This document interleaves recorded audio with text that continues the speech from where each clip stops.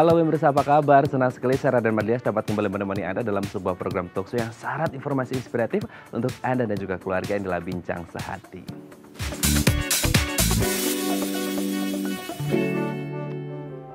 Ya, pemirsa tuberkulosis atau yang juga dikenal sebagai penyakit TB adalah penyakit paru-paru gitu ya, yang disebabkan oleh kuman seperti itu. Nah, mereka yang rentan mengalami TB ini adalah mereka yang memiliki sistem kekebalan tubuh yang rendah. Gejalanya seperti apa? Mungkin bisa kayak batuk, asma dan lain sebagainya ya. Nah, sebenarnya penyakit ini bisa disembuhkan asal dengan catatan mau disiplin dan mengikuti petunjuk dari dokter. Lalu bagaimana kondisi para penderita TB di tengah pandemi ini? Nah inilah topik yang akan kita bahas hari ini yaitu TBC di tengah pandemi. Namun sebelum bahasnya kita akan membahas terlebih dahulu nih beberapa makanan yang katanya baik untuk penderita TB. Kita lihat ya. Yang pertama, Pisang. Nah, pisang ini merupakan sumber nutrisi yang mampu meningkatkan sistem kekebalan tubuh. Kalau tadi di awal kan sudah disebutkan, mereka yang rentan mengalami TB adalah mereka yang memiliki sistem kekebalan tubuh yang rendah. Oleh karena itu, bagi Anda yang memiliki sistem kekebalan tubuh yang rendah, Anda bisa mengonsumsi pisang untuk meminimalkan terjadinya yang namanya penyakit TB gitu ya. Kita lanjut setelah pisang. Bawang putih. Nah, bawang putih ini berfungsi untuk membantu menghambat pertumbuhan bakteri karena bawang putih ini kalau tidak salah memiliki antibakteri alami seperti itu ya. Jadi kalau Anda tidak mau mengalami yang namanya TB, Anda bisa mengonsumsi bawang putih bisa disampur waktu kita lagi bikin sayur gitu ya di rumah eh, kan itu rasanya juga lezat gitu. Kita lanjut setelah bawang putih. Daun mint. Nah, daun mint ini memiliki sifat antibakteri yang tinggi. Jika penderita TB ini mengonsumsi daun ini, ini dapat membantu melarut, melarutkan lendir dan memberikan nutrisi ke paru-paru. Memang kalau kita berbicara tentang TB, ini erat kaitannya dengan paru-paru. Jadi kalau kita ingin memiliki paru-paru yang bersih dan sehat gitu ya, salah satunya Anda bisa mengonsumsi daun mint. Kita lanjut yang keempat. Nah, ini juga yang enak nih apalagi kalau dimasuki dalam roti gitu ya. Buah serikaya ini bisa meremajakan jaringan sel dan meningkatkan sistem kekebalan tubuh. Jadi sangat ber bermanfaat sekali ini buah serikaya untuk kesehatan paru-paru kita, apalagi untuk meminimalkan terjadinya yang namanya TB.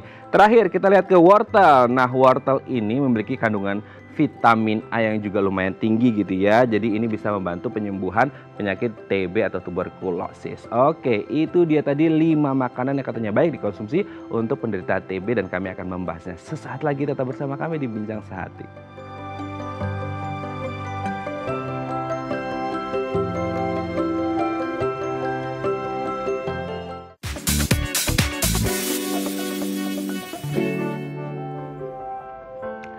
Baik, Anda masih bersama kami di Bincang Sehati. Tadi di segmen sebelumnya kita sudah membahas beberapa makanan yang baik bagi penderita TB. Dan untuk mengklarifikasinya telah tersambung bersama kami di sambungan Zoom dengan Dr. Christine Maikaratri, MSS PGK, spesialis gizi klinik dari Rumah Sakit Hermina Grand Wisata. Selamat pagi Dr. Christine, apa kabar?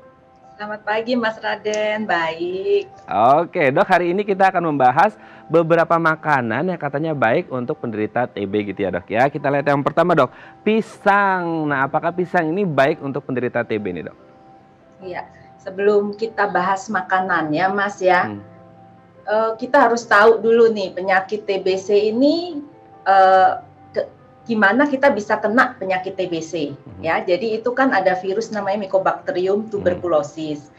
Nah, kalau ada pada droplet orang yang penderita, kita deket, dia batuk misalnya atau dia bicara, kemudian terhirup oleh saluran nafas kita, masuk. Nah, timbullah di situ reaksi imun ya. Tubuh hmm. akan melawan ya. Nah reaksi imun ini yang penting karena ini berhubungan dengan nutrisinya. Jadi nanti kita lihat dulu awalnya baru kita akan bahas bahan makanannya ya. Ada tiga hal yang bisa terjadi ketika virus masuk. Yang pertama eh, tubuh kita menang melawan ya. Jadi kita sembuh. Yang kedua itu bisa namanya dormen. Jadi bakterinya tidur hmm. ya dan ini akan timbul muncul beberapa tahun kemudian kalau sistem kekebalan tubuh kita menurun ya. Atau kita terserang infeksi lagi atau kita kena penyakit yang lain ya. Dan yang ketiga itu uh, kumannya yang menang sehingga dia merusak jaringan-jaringan uh, organ uh, paru-paru ya. Demikian pula yang dormen tadi kalau dia muncul lagi dia juga akan seperti yang ketiga ini dia akan merusak jaringan organ ya. Nah nutrisi ini kenapa sangat penting buat penderita TBC? Ya, karena uh, pada pasien yang atau pada seseorang yang status nutrisinya kurang baik, otomatis sistem imunnya juga turun, dia akan mudah terserang infeksi antara lain penyakit TBC ya. Sedangkan pada penderita TBC ya uh, sistem imunnya biasanya juga akan menurun ya dan karena uh, penyakitnya yang terus merongrong ya status gizinya menurun ya. Uh, belum lagi efek obat-obatan yang menimbulkan mual nafsu makan kurang padahal kebutuhan gizi untuk penderita TBC ini meningkat ya. Nah sekarang baru kita masuk ke zat gizinya ya. Zat gizi itu uh, kalau bicara tentang zat gizi ada dua hal yang penting. Yang pertama adalah jumlah. Jumlah itu uh, sesuai dengan uh, tinggi badan, berat badan, seks dan umur ya. Hmm. Jadi tiap orang berbeda kebutuhan nutrisinya. Nah, biasanya kalau perempuan 25 per uh, kilokalori per kilogram berat badan, kalau laki-laki 30 kilokalori per kilogram berat badan normal ya. Tetapi pada penderita TBC ini apalagi kalau malnutrisi itu bisa sampai 40 sampai 45 kilokalori. Jadi kebutuhannya besar ya. Jadi eh, maksud saya di sini untuk menyampaikan pertama adalah bahwa penyakit TBC ini kebutuhan gizinya bukan hanya untuk eh, bahan-bahan makanan tertentu, tetapi kebutuhan gizi seluruhnya itu besar ya. Itu jumlah. Kemudian yang kedua komposisi. Komposisi ini ada makronutrien dan mikronutrien. Makronutrien itu kita tahu karbohidrat ya. Itu biasanya 50 sampai 60% dari total kalori ya. Karbohidrat itu kita tahu kan nasi, eh, roti, singkong, ubi ya dan lain-lain. Kemudian protein, protein itu kalau orang biasa itu 10 sampai 15% dari total kalori. Kalau pada TBC bisa sampai 15 eh, sampai 20% dari total kalori karena memang kebutuhan protein ini besar ya. Kemudian eh, lemak, lemak ini 25 sampai 30% total kalori ya. Bisa kita tambahan omega 3 misalnya ya untuk merangsang nafsu makan dan juga untuk menambah kalori ya. Nah, kemudian kita masuk ke mikronutrien mikronutrien. Mungkin yang akan kita bahas di sini nanti kebanyakan adalah kandungan mikronutriennya ya. Mikronutrien itu uh, terdiri dari vitamin dan mineral. Nah, pada TBC ada uh, beberapa memang ya mikronutrien yang kita penting karena untuk meningkatkan sistem imun ya. Seperti uh, kalau kita bahas misalnya uh, mineral dulu ya. Ada kalsium, fosfat dan uh, kalium. Itu untuk kerja otot ya. Karena pada TBC kan kadang ada sesak ya. Otot pernafasan ini perlu ditunjang oleh nutrisi ya. Kemudian ada Fe atau zat besi. Itu untuk membentuk hemoglobin. Karena pada penyakit TBC Hb-nya juga biasanya rendah ya. Kemudian ada uh, zinc. Zinc ini juga buat penderita TBC biasanya menurun ya. Dia padahal berguna untuk sistem imun dan antioksidan ya. Kemudian ada selenium untuk antioksidan, kemudian ada vitamin, vitamin B misalnya B6, B1 atau B12 ya. Itu penting untuk mengcounter efek dari obat-obat TBC yang kadang menimbulkan uh, kurangnya nafsu makan ya. Kemudian vitamin C. Nah, vitamin C ini sangat penting untuk menunjang sistem imun karena dia merangsang uh, leukosit ya, aktivasi dari leukosit. Leukosit ini untuk bagian adalah uh, adalah sel ya yang bagian dari uh, sistem imun kita ya dan juga vitamin C ini membantu pembentukan kolagen. Kolagen itu adalah protein yang menunjang jaringan paru Ya, jadi uh, vitamin C ini sangat penting ya. Selain sistem imun, dia juga membantu pembentukan kolagen, dia juga membantu penyerapan zat besi, zat besi yang diperlukan untuk membentuk hemoglobin. Kemudian vitamin A, vitamin A ini juga uh, berperan dalam sistem imun karena dia mengaktifasi sel-sel uh, imun dan juga makrofag ya, yang itu semuanya adalah sel-sel untuk kekebalan tubuh kita. Ya, selain dia juga vitamin A ini juga adalah antioksidan, ya. Nah, eh, kemudian vitamin D, vitamin D kita tahu itu adalah imunmodulator. Nah, sekarang pisang tadi yang ditanyakan oleh Mas Raden ya, apa sih yang dikandung di pisang ini ya, sehingga dikatakan kok baik buat penderita TBC ya. Nah, pisang ini yang pertama adalah buah yang padat ya Mas ya. Kalau kita lihat kan misalnya dibanding semangka atau jeruk itu kan kandungan airnya besar ya. ya. Kalau pisang kan kandungan airnya kecil ya. Mm-hmm. Nah dia padat, jadi dia kalorinya berarti tinggi, karbohidratnya tinggi ya. Jadi bisa sebagai uh, tambahan ya masukan kalau orang itu nafsu makannya agak berkurang dikasih yang kalori yang uh, lumayan tinggi padat ya padat kalori seperti misalnya pisang itu yang pertama kemudian yang kedua pisang ini juga mengandung uh, kalium kaliumnya itu sangat tinggi pisang ini ya kalau kita uh, hipokalemi kalium rendah biasanya uh, lemah gitu ya itu biasanya dianjurkan makan pisang sebanyak-banyaknya. Kemudian dia mengandung vitamin C juga, dia mengandung vitamin B6 juga. Nah, itu makanya pisang mungkin uh, dikatakan baik buat uh, penderita uh, TBC. Oke, ini sangat luar biasa penjelasan dari Dokter Christine. Semua vitamin dan nutrisi yang dibutuhkan oleh tubuh, terutama untuk penderita TBC ini sudah dijelaskan secara detail gitu ya. Salah satunya yang ada uh, manfaat baiknya adalah pisang seperti itu. Tapi kalau boleh saya rekap nih, dok, beberapa di antaranya yang lain seperti bawang putih, kemudian serikaya, wortel, seperti itu daun mint juga gitu. Itu juga baik dok untuk kemudian uh, bagi mereka yang penderita TBC dok. Iya, jadi uh, yaitu karena kita lihat masing-masing kandungannya kan. Kalau tadi uh, bawang putih misalnya, bawang putih itu ada mengandung alisin namanya. Nah, alisin ini uh, mempunyai aktivitas membunuh mikroorganisme atau bakteri, virus dan jamur. Karena apa? Ternyata uh, alisin ini adalah pertahanan dari bawang putih ini untuk terlindungi dari hama gitu. Jadi makanya uh, dia mempunyai aktivitas uh, membunuh mikroorganisme, bakteri dan uh, jamur tadi ya. Selain itu juga bawang putih juga sama ya mengandung uh, banyak vitamin C ya, kemudian vitamin B6 juga ada, kemudian uh, yang buat otot tadi mineralnya kalsium, kalium uh, dan fosfor ya gitu. Nah, kalau min Min ini ada keistimewaannya lagi dia mengandung mentol, ya kan?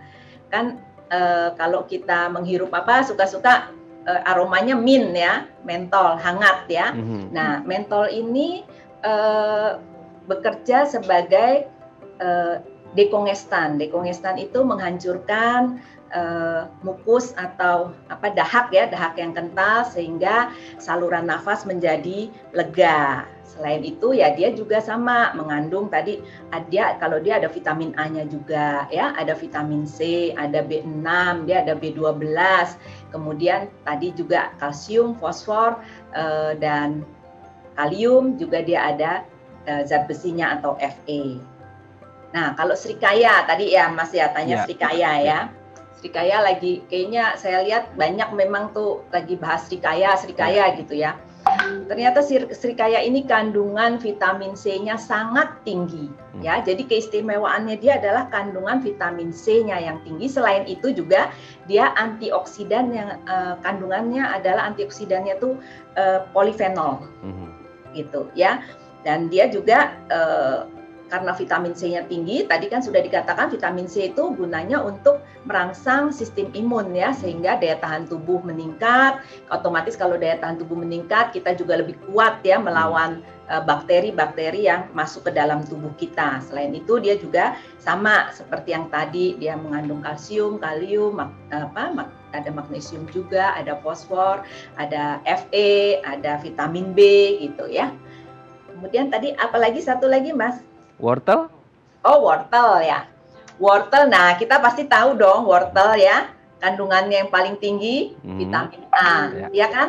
Vitamin A karena waktu kita kecil pasti disuruh makan wortel supaya yeah. matanya bagus ya. Hmm. Ya apa penglihatan kita bagus gitu ya. Wortel itu memang paling tinggi adalah kandungan vitamin A-nya ya. Vitamin A uh, pada wortel ini uh, beta karoten ya. Jadi vitamin A itu ada dua ya, vitamin yang satu retinol, satu beta karoten. Nah kalau beta karoten ini yang banyak pada tumbuh-tumbuhan yang membuat uh, buah-buahan itu berwarna-warni ya.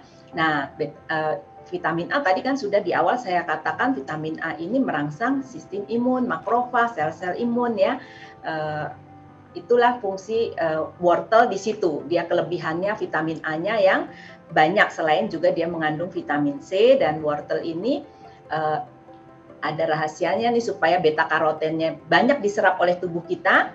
Dia lebih baik kalau dimakan bersama dengan tomat ya. Tomat itu mengandung antioksidan lycopene ya dan itu meningkatkan absorpsi beta karoten yang terdapat di dalam wortel. Hmm, Oke, okay. berarti ini sudah dijelaskan secara detail banget gitu ya sama Dokter Christine. Ini terima kasih sekali dok, ini informasinya sangat luar biasa mendalam sekali gitu ya. Jadi kita doakan semoga mereka yang ada penyakit TB ini yang pertama ya bisa sembuh. Nah untuk sembuh itu mungkin bisa mengonsumsi makanan-makanan yang tadi sudah disebutkan oleh Dokter Christine gitu ya dok ya. Baik terima kasih Dokter Christine sudah berbagi bersama kami di Bincang Sati pagi hari ini. Saya sehat terus dok. Salam untuk keluarga di rumah dan teman-teman di rumah sakit. Selamat pagi Dokter Christine. Baik pemirsa, selanjutnya kita akan membahas tema kita hari ini. Bagi Anda yang memiliki pertanyaan, Anda bisa menghubungi kami di nomor 021 290 32644 atau DM Instagram kami di @bincangsaati.tv. Kami akan segera kembali.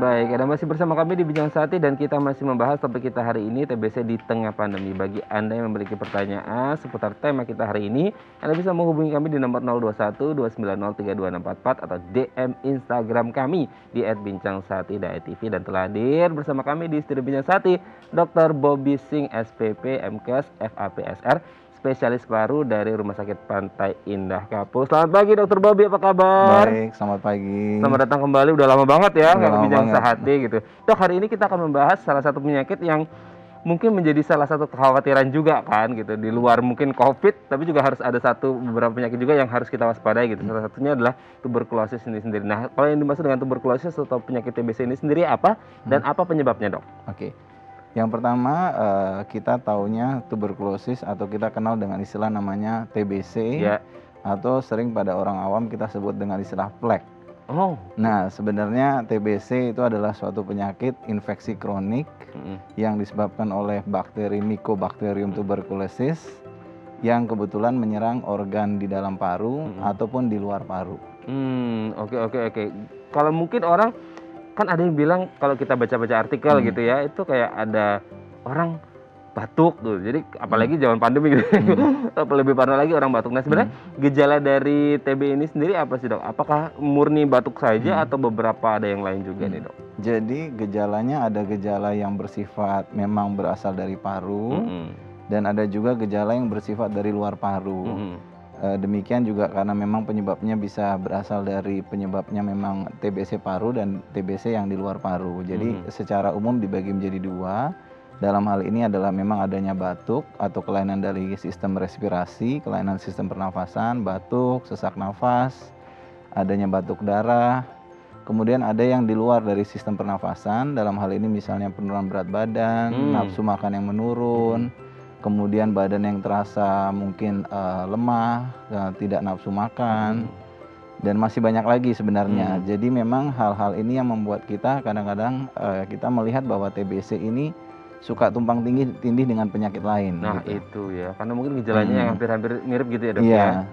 Oke, tapi sebenarnya itu bisa hanya terjadi salah satunya atau bisa lebih dari satu dok gejala-gejala yang tadi dokter sebutkan? Uh, bisa banyak. Oh, bisa Tapi banyak. memang kita saat ini karena kita kebetulan tinggal di perkotaan tanpa mengurangi rasa hormat dengan orang yang tinggal di daerah. Kalau di daerah mungkin dengan gizi yang kurang, hmm. biasanya mereka lebih terlihat begitu hmm. gejalanya. Tapi kami yang kebetulan tinggal di kota dengan gizi yang cukup, Nah itu biasanya gejalanya sangat sangat jarang terlihat oh. dan biasanya pada saat kita melakukan medical check up di situlah kita baru melihat oh ternyata ada sesuatu di bagian foto ronsennya. Gitu. Hmm oke oke oke memang agak agak mm -mm. ya gampang-gampang susah untuk mm -mm. menentukan karena gejalanya hampir-hampir mirip dengan beberapa penyakit yang lain ya Benar. ada batuk dan lain sebagainya mm. gitu dok. Nah pertanyaannya kemudian ketika kan sering kita juga mm. dari kecil sih kayaknya kita mm. belajar mm. IPA gitu ya mm. salah satunya TBC katanya kan nular gitu hmm, dok. Hmm. Itu sebenarnya benar nular hmm. dan kalaupun nular itu lewat media apa aja itu dok? Oke, okay, uh, eh, jadi penularannya sebenarnya sebenarnya adalah sifatnya droplet hmm, atau droplet. percikan ludah memang tidak seperti penyakit yang kita dengar saat ini seperti COVID yang penularannya memang uh, dengan uh, uh, sifatnya bisa aerosol kalau pada COVID atau airborne, tapi kalau pada TBC kita droplet. Hmm. Nah, droplet itu bersifat yang disebabkan oleh mungkin percikan ludah, kemudian bersin, kemudian meludah pada tempat sembarangan. Nah, hal-hal itu yang menjadi medianya. Jadi misalnya kalau kita meludah sembarangan, atau di tempat umum, kemudian tangan kita e, memegang e, tempat bagian yang terludah. Nah, itu yang menyebabkan kita kemudian kita tidak mencuci tangan. Nah, itu yang menjadikan kita menjadi e, cikal bakal untuk awal mulanya bisa masuknya bakteri ini. Hmm. Tapi tetap masuknya e, memang melalui saluran pernafasan. Hmm, yang okay. awal dari infeksi TBC ini. Oke, okay, lewat saluran pernapasan ya yeah. dan melalui droplet gitu ya, yes. ya, Dok ya. Tapi kalau berbicara tentang tingkat keparahannya sendiri, ini uh, si TBC ini ada tingkat keparahan yang berbeda atau sesuai dengan yang tadi kan sudah disebutkan ada TB paru dan non paru gitu. Nah, sebenarnya tingkat keparahannya memang sekali lagi uh, definisinya memang ada TBC yang di uh, menyerang organ paru, hmm. kemudian ada TBC yang menyerang di luar organ paru. Hmm. TBC hanya dua organ yang tidak bisa diserang dalam hal ini adalah bulu dan kuku sebenarnya. Oh. Tapi dalam dari dari ujung kepala sampai ujung kaki semua bagian organ tubuh dapat diserang oleh suatu uh, kuman TBC. Tapi hanya dua organ yang tidak bisa diserang yaitu kuku dan bulu sebenarnya. Hmm. Nah, kalau mengenai uh, tingkatannya memang kita membagi menjadi tingkatannya untuk paru sendiri dibagi menjadi uh, lesi luas atau kita bilang tingkat lukanya uh, tidak lebih dari 2 IGA Kemudian ada juga yang kita bilang lesi luas. Lesi hmm. tadi lesi minimal, kemudian ada yang kita bilang dengan lesi luas yaitu tingkat uh, lesi atau tingkat infeksinya lebih dari hmm. uh, luasnya 2 IGA. Itu yang kita anggap lesi luas. Nah, oh. kebetulan ada satu lagi yang tadi ditanyakan uh, bisa menyerang organ yang dituju. Misalnya uh, dia menyerang tulang belakang. Tentu hmm. dia akan menjadi lebih bongkok, adanya oh, gitu. gambaran uh, gibus atau memang segibus adalah tonjolan yang terjadi di tulang belakang, hmm. terus kemudian bisa menyerang ke kelenjar getah bening. Hmm. Jadi eh, hal-hal uh, itu yang akan nanti terlihat sendiri bagaimana uh, rasanya tidak enak pada saat mungkin pembengkakan di daerah leher. Nah itu hmm. itu salah satu uh, contoh bahwa memang dapat menyerang di berbagai organ tubuh hmm. dalam kasus TBC ini. Oh, oke oke nanti mungkin akan kita lanjut di masalah komplikasi gitu ya. Yeah. Apakah memang bisa menyebabkan TBC atau TBC bisa komplikasi yang lain. Tapi sebelum bahas kita mau de baca DM dulu dok. Ya, mari. Ini ada DM dari pemirsa kita, kita baca. Dari Ed Salim Putra, sepupu saya memiliki riwayat TBC. Ketika dia sakit, saya yang nemenin dan berbagi tempat tidur karena kami satu kamar bareng. Waduh, dia pun mengonsumsi obat TBC dengan baik. Apakah dengan kondisi ini saya dapat tertular? Salim Putra, ini gimana nih dok? Nah, boleh jawab langsung ya? Boleh jawab. Jadi memang penurunan TBC itu ada tiga aspek. Yang pertama adalah dari aspek penderitanya. Hmm. Dalam hal ini adalah yang uh, penderitanya uh, host atau memang dalam hal ini adalah yang terkena atau hmm. tidak daya tahan tubuh. Kemudian jumlah virulensinya atau jumlah bakteri yang akan di, uh, disebarkan atau tertularnya. Yang ketiga adalah daya imunnya sendiri. Oh iya yang itu dan jumlah paparan, jumlah hmm. paparan atau waktu paparan. Makanya tadi ditanyakan oleh uh, penanya, memang ada faktor tiga itu yang penting. Jadi hmm. satu adalah jumlah dari virulensi bakterinya, hmm. yang kemudian ada daya tahan tubuh dari orang yang tidur tadi mungkin satu rumah atau satu kamar. Yang ketiga adalah bagaimana waktu paparannya. Jadi hmm. tiga poin itu akan menjadikan apakah orang itu bisa tertular apa tidak. Kurang lebih hmm. seperti itu. Oke, tapi kalau semisal kalaupun akhirnya ada interaksi nih antara Mas Salim dengan sepupunya gitu ya. Kalau imunitas tubuh Mas Salim ini bagus, eh, gimana dok? Kalau imun kalau imunitasnya baik, kemudian dia sendiri kebetulan mungkin saat itu juga memakai masker, hmm. membooster uh, sistem imunnya dengan vitamin, dengan makanan sehat, kemudian uh, waktu paparannya tidak banyak, terus kemudian jumlah yang ditularkan bakterinya tidak sebanyak, saya rasa tidak akan menularkan. Masih relatif uh, aman ya. Dan Tapi kalau tapi kalau bisa kontak fisiknya agak dikurangi gitu mungkin. Ya, mungkin biasanya kita menyarankan dalam dua minggu pertama pengobatan TBC untuk saling menjaga dulu. Hmm. Setelah dua minggu uh, pemberian obat TBC, tingkat penularannya biasa menurun sampai 80%. Hmm, ini agak mirip-mirip protokol kesehatan COVID ya dok ya untuk physical distancing menjaga iya. jarak gitu ya dok ya. Semoga ini bisa menjawab pertanyaan dari Pak Salim ya dan semoga sepupunya ini cepat sembuh seperti itu. Oke dok, kita lanjut lagi tadi yang sempat terpotong. Sebenarnya hubungannya ke mana atau dua-duanya benar nih? Komplikasi bisa menyebabkan TBC atau TBC sebaliknya bisa menyebabkan komplikasi? Uh, ada sebab akibat dan dua-duanya saya setuju. Oh, jadi, okay. jadi memang ada beberapa obat, uh, beberapa penyakit TBC yang disertai oleh komplikasi oh. dalam hal ini contohnya seperti diabetes, hmm. kencing manis, hmm. atau disebabkan oleh adanya gagal ginjal, ada orang yang sedang cuci darah, kemudian adanya autoimun yang hmm. lain. Nah, tentu hal-hal ini mempengaruhi uh, daya gedor atau daya imun atau untuk mempersembuh atau cepat mempersembuh dari penyakit TBC sendiri. Tapi sebaliknya ada penyakit yang mungkin sebenarnya tidak ada TBC, tapi hmm. ada DM, ada hmm. kencing manis, kemudian gagal ginjal, ada autoimun yang lain. Hal-hal itu membuat lebih rentan terkena TBC. Hmm. Karena daya imun atau jumlah yang seharusnya bisa mengeliminasi suatu kuman TBC dia berkurang. Nah, hmm. hal-hal hmm. itu yang membuat dia menjadikan sulit uh, untuk bisa tidak terinfeksi. Hmm, okay. Jadi lebih mudah gitu. Lebih mudah ya. Oke, uh -huh. ada beberapa faktor lah seperti yeah. itu. Iya. Nah, kalau kita berbicara faktor yang lain, Dok. Hmm. Misalkan tadi uh, ya karena penyakit bawaan juga penyakit hmm. ternyata ada hmm. faktor komorbid lah ya hmm. gitu. Terus kemudian ada faktor tadi juga sudah kita bahas hmm. penularan hmm. seperti itu. Nah, sebenarnya kalau di luar faktor-faktor itu, kalau faktor kayak usia atau jenis kelamin ada pengaruhnya nggak dok? Kalau jenis kelamin kita sudah pelajari dari beberapa literatur tidak mengatakan bahwa perempuan atau laki lebih banyak, hmm. tidak sama saja.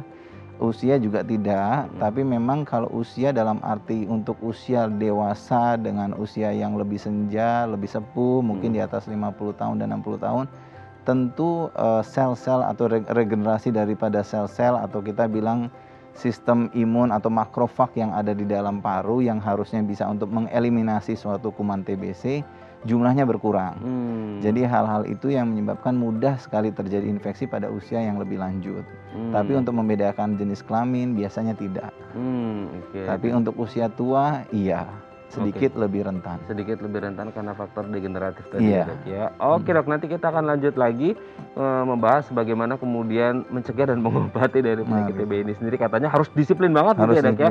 Oke dok, nanti akan kita bahas. Baik pemirsa bagi anda yang memiliki pertanyaan, anda bisa menghubungi kami di nomor 021 290 32644 atau DM Instagram kami di @bincang_saat_tv. Kami akan segera kembali.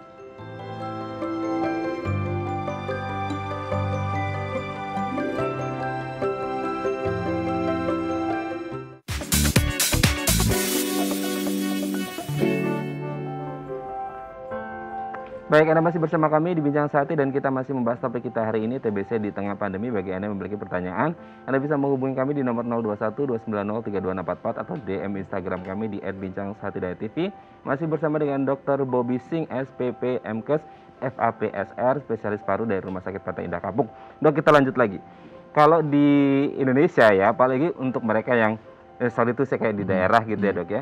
Ada anggapan bahwasanya kayak ah ini mas cuman batuk-batuk hmm. doang gitu kan bahasanya akhirnya diremehin gitu hmm. jadi kayak hmm. akhirnya ya udah pas udah plek aja hmm. gitu akhirnya pas udah parah itu betul nggak terjadi seperti itu dan apa yang membuat akhirnya mereka kayak agak hmm. ngeremehin gitu, hmm. gitu dok jadi kebetulan uh, Indonesia tuh saat ini megang peringkat yang cukup baik untuk TBC dunia jadi jadi kita itu nomor tiga di dunia setelah uh, China dan uh, India hmm jadi memang kita itu cukup fantastis jumlahnya. Kita nomor tiga di dunia. Jadi memang kita menjadi warning dari WHO dan kita sudah diberikan satu um, goal a development untuk mencapai harusnya bebas TBC yang hmm. sebenarnya dicanangkan tahun 2030 hmm.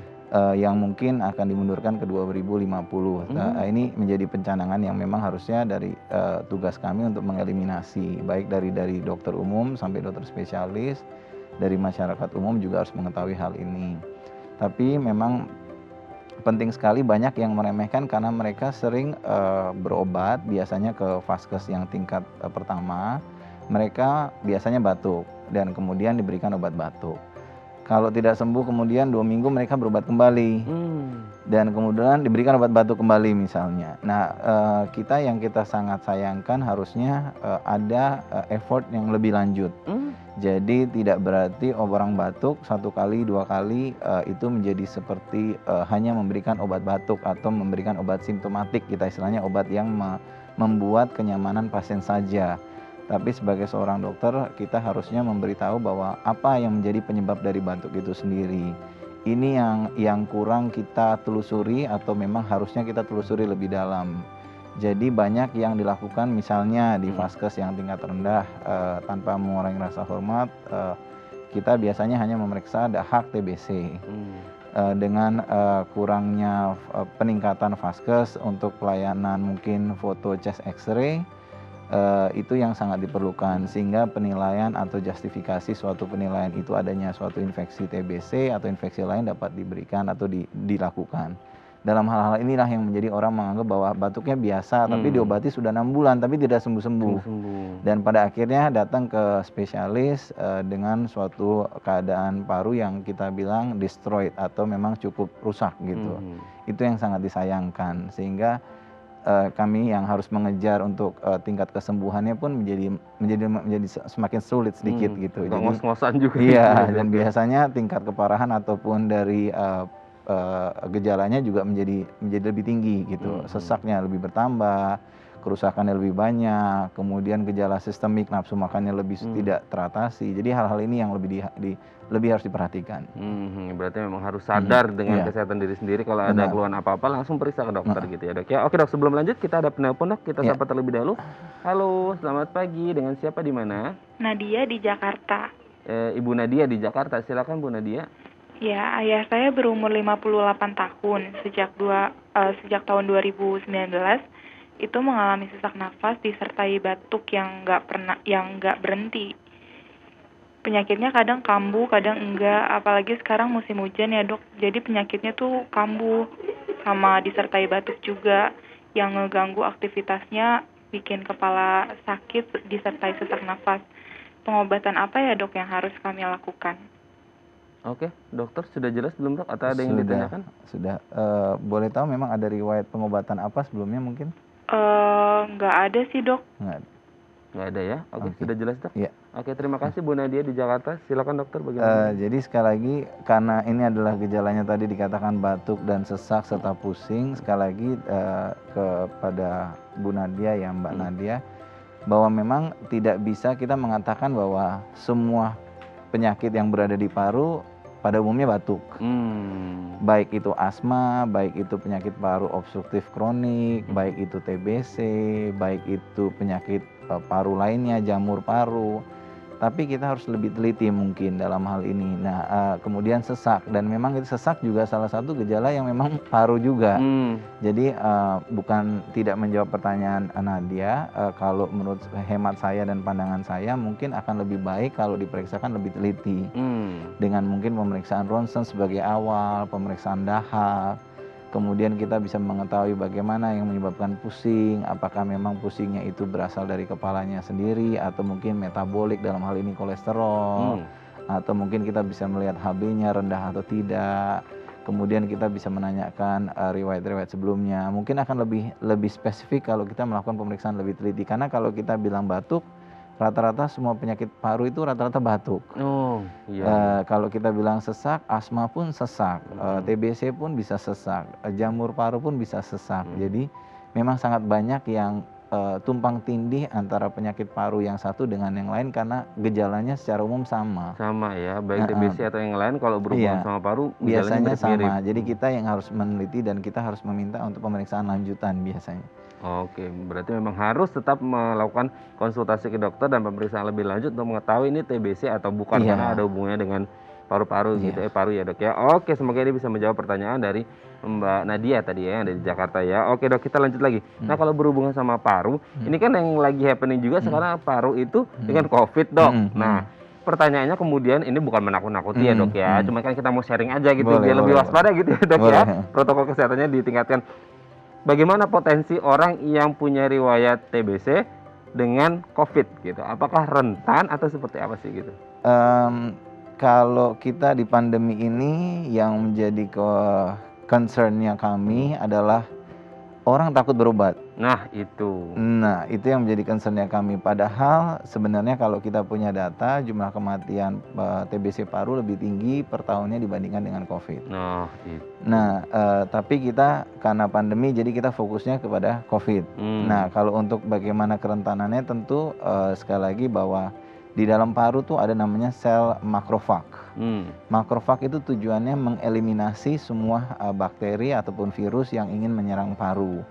Nah, kalau misalnya orang dengan TB, makrofagnya itu berkurang. Hmm. Sehingga untuk mengeliminasi suatu virus dalam hal ini adalah COVID, tentu mempunyai daya gedor yang harusnya lebih banyak. Hmm dan itu yang menyebabkan akhirnya kesulitan sehingga uh, jumlah virusnya akan lebih banyak mm-hmm. dan oleh sebab itu akan menjadi uh, derajat untuk terinfeksi virusnya mungkin bisa menjadi lebih berat mm. jadi kira-kira penjelasannya apakah ada hubungan iya bisa menjadi hubungannya bisa menjadi lebih uh, rentan dan mudah gitu dan menjadi lebih berat biasanya dan bukan saja di TB mungkin dengan penyakit-penyakit lain iya. COVID pun kalau ada penyakit lain akan lebih berat biasanya. Hmm. Okay, okay. Tapi bukan berarti tidak bisa sembuh, mm-hmm. tapi kami biasanya akan lebih berat. Mm-hmm. Dan perlu penanganan lebih, lebih ekstra lanjut. gitu ya, iya, dok. Ya? Makanya ketika tadi dokter menyebut ternyata penyakit TBC uh, bisa jumlahnya lebih banyak dari yeah. uh, COVID per tahunnya seperti itu. Yeah. Berarti dan sekarang masalahnya adalah ironisnya orang takut berobat gitu yeah. ya dan akhirnya membuat ya nauzubillahnya sih maksudnya kayak semoga tidak terjadi. Bisa jadi jumlah uh, kematian akibat TBC bisa lebih tinggi lagi dari yeah. tahun-tahun sebelumnya ya dok. Karena mereka takut berobat. Tapi sebenarnya sekarang berobat sudah aman kan ya dok ya? Sebenarnya setiap rumah sakit sekarang saat ini sudah melakukan protokol. Jadi kita dalam semua rumah sakit itu ada namanya zona merah hmm. zona hijau zona merah artinya memang daerah-daerah yang memang kita tidak uh, untuk pasien-pasien yang memang tidak kita uh, untuk uh, kecurigaan mengarah ke COVID hmm. biasanya. Tapi kalau zona hijau itu kami tetap lakukan dan itu seperti biasa. Memang protokolnya tetap protokol 3M yaitu menjaga jarak, pakai masker, kemudian dengan social distancing. Hmm. Kemudian nah, hal-hal itu memang penting tapi bukan berarti tidak tidak ke rumah sakit. Kalau hmm. bagi saya dengan menunda ke rumah sakit yang tadinya berobat teratur yang nanti kemudian infeksinya yang harusnya sudah selesai bisa diatasi tidak teratasi malah tambah buruk dan yang hmm. ditakutkan malah terjadi resistensi dari obat itu sendiri. Nah, itu dia. Kalau berbicara resistensi obat hmm. gitu ya dok, kan hmm. ini sering juga kita dengar nih. Hmm. Nah sebenarnya tahapan pemeriksaan di awal hingga pengobatannya itu yang seperti apa dan ada kabar kalau kita kita itu harus disiplin kan. Hmm. Kalau kita lupa sekali atau sehari atau apa itu katanya harus ngulang lagi ya dok ya dari awal. Dan itu biasanya rentang hmm. waktu yang disiplinnya itu berapa lama itu dok? Jadi pengobatan TBC sekali lagi adalah pengobatan yang ada di dalam paru yang hmm. biasa memakan waktu 6 sampai 7 bulan. Hmm. Ataupun paling lama 8 bulan hmm. uh, tergantung dari infeksi paru sendiri. Tapi ada pengobatan di luar paru yang memakan waktu adalah 9 sampai dengan 12 bulan. Oh. Nah, itu ada step-stepnya dan kami mengikuti protokol bagaimana penanganan untuk TBC itu sendiri. Nah, untuk kedisiplinan tentu harus disiplin setidaknya sebulan sekali untuk kontrol. Dan kami punya protap kapan dilakukan pemeriksaan dahak, kapan dilakukan pemeriksaan foto, dan biasanya kami lakukan itu uh, dengan tahapan-tahapan tidak setiap bulan hmm. tapi ada foto pertama, foto kedua dan foto yang terakhir. Hmm. Hal-hal hmm. itu yang harus menjadi disiplin. Nah, kalau tidak disiplin nanti takut ngambil obat akhirnya tidak sembuh. Kalau hmm. takut ngambil obat nanti terjadi namanya multi drug resistant tuberculosis itu. dan itu akan menjadi pengobatan yang tadinya 12 bulan bisa menjadi pengobatan yang 24 bulan dan Waduh. itu menjadi uh, hanya beberapa center rumah sakit yang bisa melakukan pengobatan multi drug resistant TBC. Hmm. Jadi itu yang kita tidak harapkan dan hmm. sebenarnya TBC adalah suatu penyakit yang dapat diobati dan di, uh, disembuhkan sebenarnya. Hmm, berarti bukan penyakit jangka panjang yang hanya bisa ditekan gitu ya kayak tidak. semacam diabetes dan lain sebagainya gitu ya. Tapi ini bisa benar-benar full 100% sembuh gitu ya, bisa. ya dok ya. Asalkan orangnya mau disiplin. Iya. Kalau akhirnya resistensi harus ganti obat lagi atau gimana? Uh, itu biasanya nanti lagi. akan akan ganti obat dan biasanya mereka akan ke center yang dalam hal ini mungkin center ke rumah sakit persahabatan hmm. atau beberapa center yang memang sudah mempunyai poli MDR multi drug resistant TBC. Hmm. Nah, itu akan diberikan penanganan secara personal dari tim THT, tim paru, tim psikiatri dan efek samping obatnya juga akan bervariatif. Itu sangat um, lebih lebih uh, memakan waktu tenaga, eh, efektif cost-nya juga akan lebih banyak. Uh, itu yang sangat disayangkan. Yang seharusnya simple tapi uh, karena ketidakdisiplinan, kemudian tidak dilakukan uh, secara baik teratur, nah itu yang menjadikan semua jadi uh, menjadi lebih lama. Hmm, Oke, okay. orang yang sudah kena sembuh bisa kena lagi nggak atau seperti apa? Uh, biasanya kami lihat uh, sangat jarang, tapi tidak menutup kemungkinan. Biasanya kalau mereka memang sudah punya kontak erat dengan orang yang sudah positif kembali, mungkin bisa. Hmm. Tapi sangat jarang orang yang sudah diobati dan dikatakan sembuh uh, itu biasanya kambuh, jarang. Tapi bisa saja dia kambuh karena memang pada saat muda mungkin di umur 20 dia tidak mempunyai faktor penyakit hmm. lain kemudian dia kena di umur 60 pada saat umur 60 dia punya faktor misalnya penyakit kencing manis hmm. dengan misalnya gula yang tidak terkontrol hmm. nah itu satu contoh yang bisa menyebabkan bahwa TBC menjadi lebih rentan oke jadi bisa bisa saja kambuh gitu ya. tapi itu. kalau punya imun yang baik tidak ada penyakit komorbid sih kayaknya aman-aman aja yeah. gitu ya dok ya oke dok nanti di segmen terakhir kita akan membahas tips supaya bisa meminimalkan penularan TBC gitu ya dok yeah. ya supaya tidak menyebar ke mana-mana yeah. gitu ya.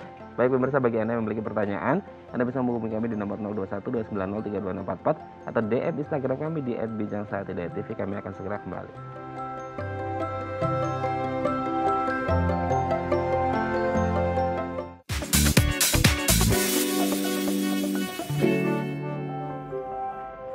Baik, Anda masih bersama kami di Bincang Sati, masih bersama dengan Dr. Bobby Singh, SPP, MKes, FAPSR, spesialis paru dari Rumah Sakit Kota Indah Kampung. Dok, di segmen terakhir ini kita akan membahas beberapa hal yang bisa kita lakukan untuk mencegah terjadi penularan TBC gitu ya. Dok, ya. Kita lihat yang pertama.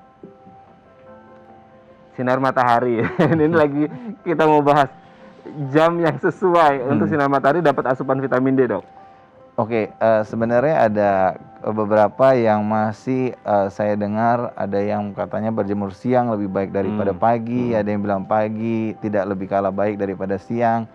Tapi uh, yang saya ketahui dan secara literatur uh, base evidence mengatakan bahwa memang UV yang terbaik adalah UV yang dikatakan sebelum jam 10 pagi. Sebelum jam 10. Nah, itu mempunyai uh, UV yang cukup untuk uh, bisa memberikan uh, dominasi untuk memberikan uh, peranan dalam pemberian vitamin D. Hmm. Dalam hal ini memang salah satunya itu baik. Nah, kebetulan kuman TBC sendiri pun kalau kita meludah di tempat udara yang terbuka dengan adanya sinar matahari biasanya 15 sampai 30 detik kuman TBC sendiri itu akan mati. Oh, gitu. Gitu Oke, Karena terkena paparan UV dari nah, sinar matahari gitu. Jadi ya? memang kita anjurkan makanya kita punya dibilang pojok uh, dahak gitu ya. Hmm. Pojok dahak itu biasanya disiapkan uh, suatu exhaust atau biasanya ada dengan dilengkapi dengan kaca yang terbuka.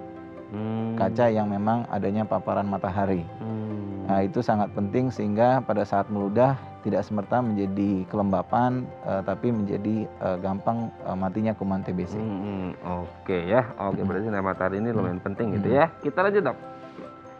Tutup mulut saat batuk dan bersin. Nah, ini juga tidak hanya TBC, COVID juga semuanya ini untuk meminimalkan risiko dia karena hmm. tadi apa droplet tadi ya, Dok ya? Yeah tapi uh, sebenarnya yang lebih penting adalah sebenarnya ini mulai diterapkannya sebenarnya bukan di COVID saja. Sebenarnya hmm. dari dulu sudah harusnya diterapkan. Iya. Sayang sekali uh, belakangan ini baru diterapkan pada saat COVID hmm. karena orang ketakutan dengan COVID. Hmm. Padahal TBC pun sebenarnya uh, jumlahnya sangat banyak. Yeah. Uh, tapi memang tutup mulut saat batuk bersin kebetulan uh, pengalaman saya pribadi sendiri kalau kami naik pesawat terbang atau naik apa kami suka dibatukan dari belakang itu hal yang kurang baik sebenarnya. Oh, iya. oh deket A banget itu kan. Uh, atau misalnya kita nonton bioskop, kita hmm. posisinya di bawah, di belakang batuk-batuk rasanya kok uh, lebih lebih beretika dan lebih baik kalau kita bisa memberikan edukasi kepada mereka tolong ditutup sehingga kami bisa mendapatkan uh, kesehatan yang lebih baik antara masyarakat demi masyarakat. Nah, mungkin ini kepedulian kita iya. untuk menjaga kesehatan sesama gitu ya, Dok. Dan ya? setelah mungkin pakai tisu harus setelah batuk dibuang kali ya, jangan hmm. dikantongin kali jangan ya. terlalu hemat ya, Dok. Uh, uh, dikantongin kali.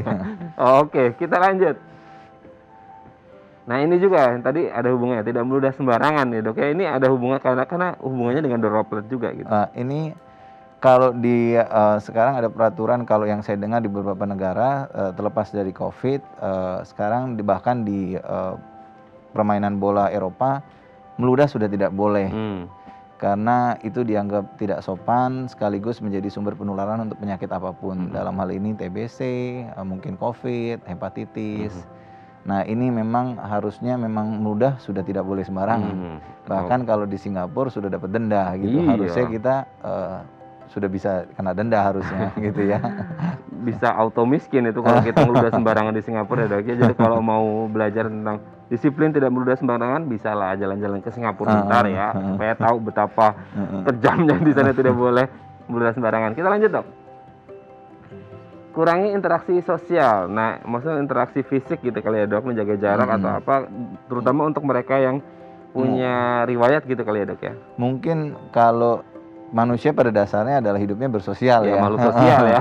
tapi karena memang ini di era pandemi interaksi sosial memang dibatasi, tapi tidak mengurangi uh, uh, sosial yang berarti fellowship uh, hmm. keluarga ya. Hmm. Sebenarnya uh, sudah dikatakan bahkan dari uh, keputusan uh, gugus COVID mengatakan mungkin yang terbaik adalah inner saja, hmm. family inner. Jadi hmm. memang family sendiri yang lebih aman. Kalau memang masih mau berkumpul adalah keluarga inti dalam hal ini ada ayah, ibu dan uh, anak itu lebih hmm. aman dibandingkan dengan memanggil keluarga besar. Nah, untuk interaksi sosial untuk kasus TBC sendiri saya pikir kalau yang lagi sakit, yang tidak sakit mungkin lebih baik atau sama-sama memakai masker. Hmm. Sehingga dalam waktu pemberian obat dua minggu sampai satu bulan, uh, kemungkinan terinfeksi juga sudah mulai menurun.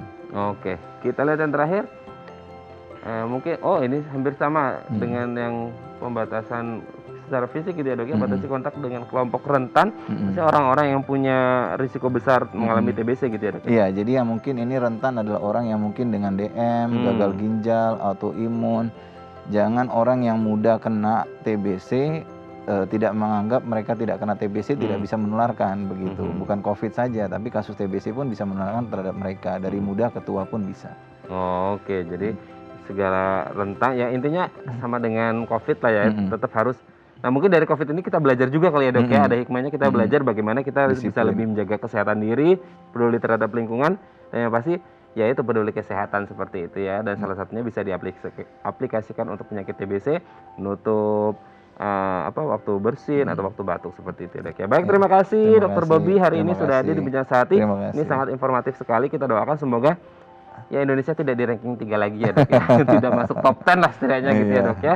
semoga harapan kita di 2050 ya tadi iya. sudah tidak ada TBC lagi. Terima kasih dokter Bobi sehat-sehat terus salam untuk keluarga di rumah dan teman-teman di rumah sakit Pantai Indah Kapuk. terima kasih. Baik pemirsa bagi anda yang memiliki kritik dan saran anda bisa menghubungi kami di nomor 0889 8100 5000 atau anda bisa follow media sosial kami di @bincang TV saya Radha Madlias pamit. Sampai jumpa dan selamat berakhir pekan